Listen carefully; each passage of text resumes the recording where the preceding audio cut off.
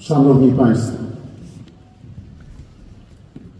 spotykamy się tutaj z okazji święta 771 lokacji miasta Bochnia, ale dzisiejszy koncert pod patronatem prezydenta Rzeczpospolitej Polskiej pana Andrzeja Dudy jest jeszcze zwieńczeniem całorocznych obchodów 770. rocznicy lokacji Bochni. Ponieważ po raz ostatni występuję jako gospodarz miasta, pozwolę sobie w tym wystąpieniu zawrzeć również wątki osobiste. Od 2010 roku obdarowany największym spośród kandydatów zaufaniem mieszkańców, mam zaszczyt, zaszczyt pełnić służbę burmistrza miasta Bochnia i może trochę nieskromnie sądzę, że w pamięci Bochnian większość moich działań zapisana jest pozytywnie. Miałem niepowtarzalną możliwość realizować bardzo ważne i potrzebne miastu inwestycje, zarówno w sferze usług, jak i przedsiębiorczości oraz szerokim spektrum tego, co nazywamy kulturą, sztuką, ale też rekreacją i odpoczynkiem. Starałem się, żeby wszystkie moje działania zyskiwały jak najszersze poparcie lokalnej społeczności i jak najlepiej jej służyły. Oczywiście optymizm i wiara w realizowanie zadań zgodnie z założeniami często poddawane były różnym przeciwnościom. Wszystkiego też nie udało się zrealizować.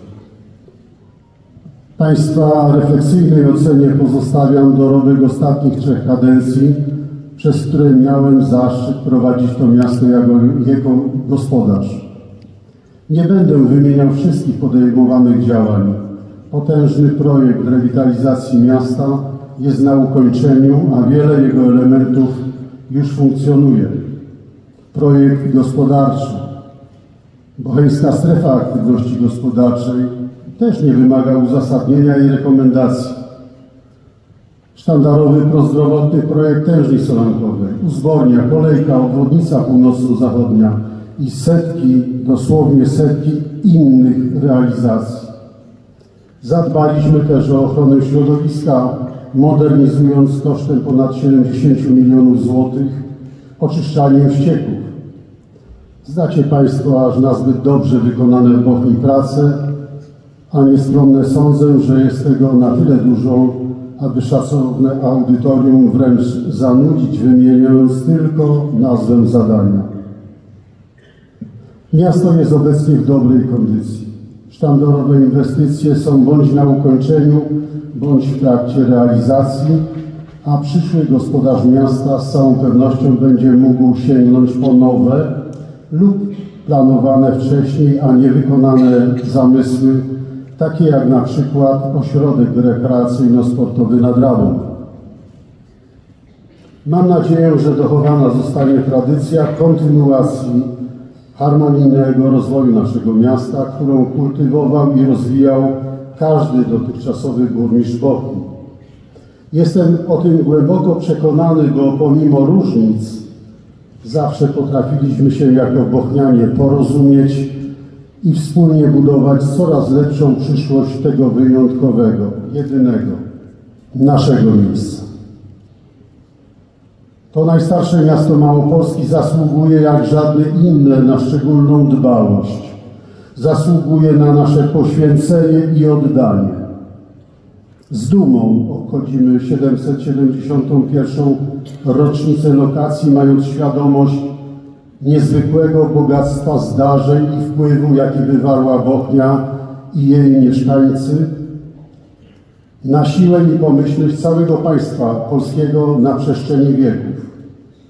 To stąd pochodzą wybitni synowie i córki naszego narodu. To tutaj w najtrudniejszych czasach potrafiono przeciwstawiać się najeźdźcom i okupantom, nosząc w sercu ojczyznę i umiłowanie niepodległości a w czasie pokoju budować jej świetność. Jako syn tej ziemi i jako rdzenny mieszkaniec dziękuję Bochniom, że mogłem Ci służyć. Chciałbym jeszcze bardzo serdecznie podziękować parlamentarzystom, poszczególnym wojewodom małopolskim, marszałkom województwa, staroście bocheńskiemu, wójtom i burmistrzom oraz innym urzędnikom samorządowym za sprzyjanie i wsparcie naszych inicjatyw. Bez tego praktycznie żadna wielka inwestycja nie mogłaby być zrealizowana. Dziękuję także wszystkim moim współpracownikom z Urzędu Miasta Bochnia, którzy na co dzień pracowali i pracują nad tymi wszystkimi rozwiązaniami, które służą miastu.